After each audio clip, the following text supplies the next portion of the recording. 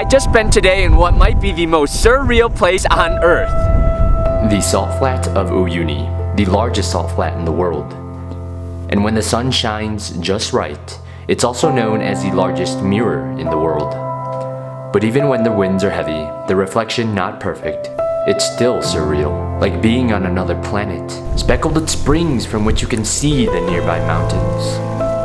Legend says the Salar Mountains are the gods Tunupa, Kaku, and Kusina. Tunupa birthed a child with Kaku, but who later ran away with Kusina. In her grieving, Tunupa's tears mixed with her milk, forming the white salt flats. They say this is where the earth meets the sky, and it's not hard to see why. But truth is, there aren't that many words for the Salar. At the end of the day, you could just say it's a salty puddle.